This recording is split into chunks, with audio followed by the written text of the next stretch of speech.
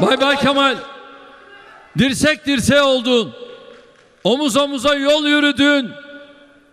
Bu Kandil varisleriyle yolunu muhakkak ayıracaksın ama zaman çok geç olacak.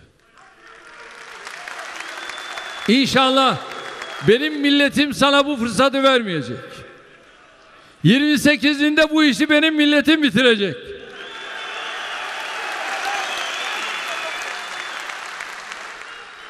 Onun için benim milletimden ricam şudur.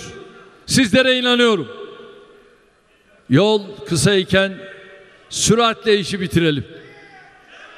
İnşallah 28 Mayıs'ta öyle bir zafer elde edelim ki 29 Mayıs fethini hep birlikte kutlayalım.